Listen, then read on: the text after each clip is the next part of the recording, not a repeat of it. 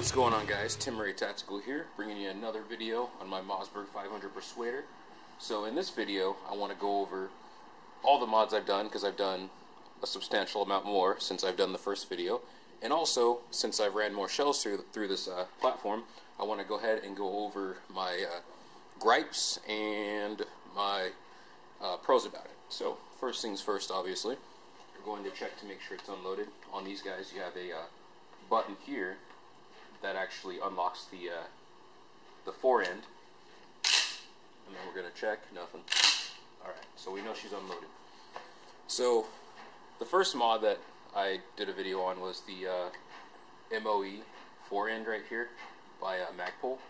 I love it now. I know I said I was not a fan of the uh, shape here, but I found like the more shells I've ran through it, and because it's a pistol grip, that is extremely comfortable because the gun wants to slide backwards, and um, it kind of keeps your hand, your uh, if you're left or right, it kind of keeps your hand where it's supposed to be, and it mitigates some of the recoil.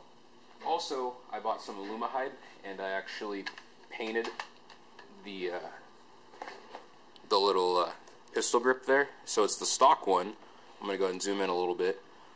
Uh, the finish, it came undone a little bit. Um, I didn't expect it to be perfect, but it, uh, it, it looks nice. I just wanted mainly the color to match the fore end, so I just kind of painted it. And it is chipped a little bit, but I like it. It looks a little weathered, so um, that's one thing. Also, because it looked so plain here without the heat shield, I don't know if I went over that in the uh, other video I did on this shotgun, but because it looks so plain here, I bought this little tactical deal so that you could actually mount flashlights on there. And um, what's what's cool about this too is um, I'm gonna go back to the fore end. There's I guess they have something called an M-LOK system where you can mount a light here. So this, you know, I can put other accessories here if I wanted to. So it's kind of cool. You got your M-LOK mounting points, and then uh, focus the camera a little bit. Sorry guys. You got your M-LOK mounting points on both sides, and then you got your uh, Picatinny type of rail that goes all around the shotgun. And lastly, I've got the little fiber optic sight here. So that brings me to my next part of the video. With these shotguns, because they're pistol grip, um, they are, I guess, a lot of people regard them as mainly home defense and not so much accurate because of the massive amount of recoil. So I bought this uh, sight just so that I can put rounds on target a little bit easier um, without having to use the bead and, and get in close because it kicks so much. It is manageable. Um, I use birdshot, the uh, federal half brass. It's the uh, lowest power you could get. And even with that, it, felt like um, a 40. I almost want to say a 10 millimeter kind of in comparison a little bit with the uh, terms of recoil. So it's manageable and you can actually um, get get it to where you can aim it. I mean, you could do it, but the issue is it wants to come backwards and up. And that's where this kind of came in. So you have the lip, which kind of mitigates the recoil. So if my hand partially slides off from the recoil, it keeps uh, it keeps it there. But with that said, it channels it backwards. So um, that's one of the downsides. But it's still aimable and it's still you can still hit your target, kind of like what I showed in the beginning of the video with the book. You can still hit your target just fine. Um, so I love it so far. I do plan on getting a stock, so that's gonna be that's gonna be in, in the workings because I really like shooting it. 12 gauge is pretty cheap to get.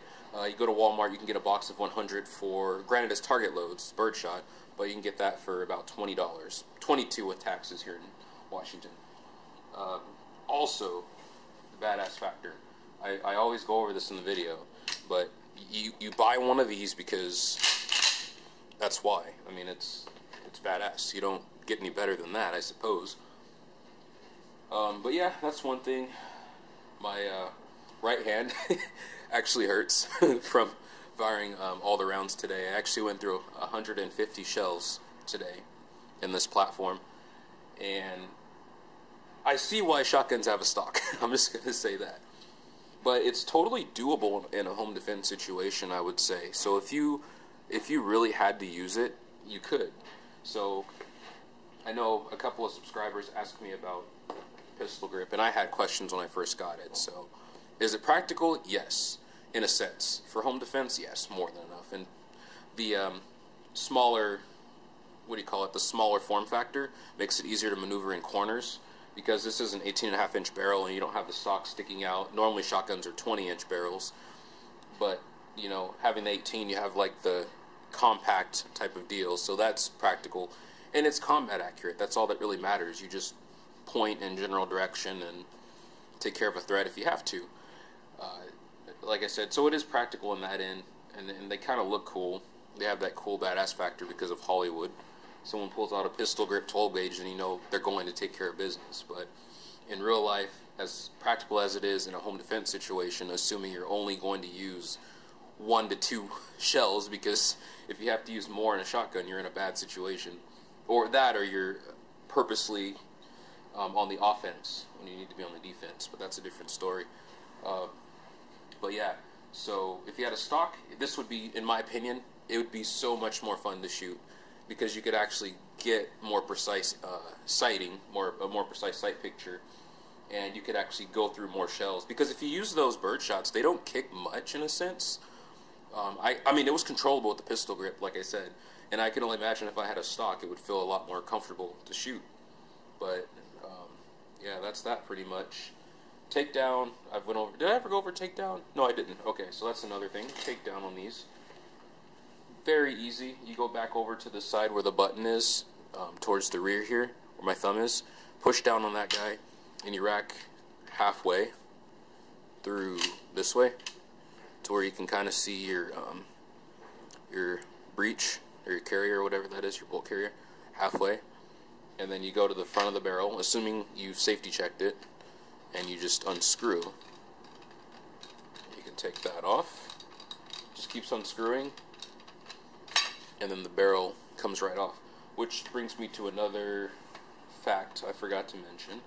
Uh, when you do when you do this, you need to make sure that your um, magazine tube, the little bolt here, is tightened because what ultimately will happen is if you don't tighten it enough, it'll uh, you'll get light primer strikes because the barrel is moved forward slightly and um, the shell, shotgun shells, if you've seen them. Um, do I have any spent ones around here? I don't.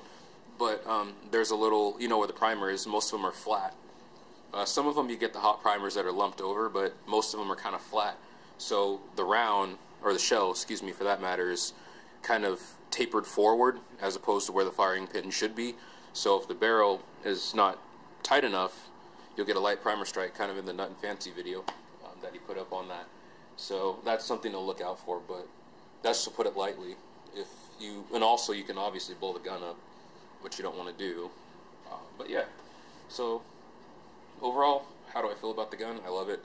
It's uh, it's definitely uh, fun to shoot, very practical in a home defense situation, and my only recommendations would be to get a stock for it. That's pretty much what I would say. Unless it's strictly a car or truck gun, um, then it doesn't really matter. But in my opinion, I, I'd say you have to have a stock with this. It's just you could shoot as many shells as you want. Uh, I I would not even recommend shooting slugs. I'm not even going to try to shoot slugs through it or uh, magnum magnum loads. I'm forget it. Double aught buck, triple aught buck, no, nada. It's just uh, like I said with birdshot, that felt like a kind of an over uh, powered 10 mil in terms of recoil and 40. So it kind of you know it wants to come back and up, and it wants to rip it out of your hand when you know. So I can only imagine what uh, slugs would feel like. But anyway, thanks for watching, guys. This was Timmy Ray Tactical, my review on, my actual review on my Mossberg 500. Um, thank you, everyone, for showing uh, support towards my channel. I'm thankful for all the subscribers I have. Also, as I always say, check out Dirt Road's channel. He's got excellent videos. Um, the guy's always supported my channel, even from the beginning. So, until next time, carry, be safe, have a good day.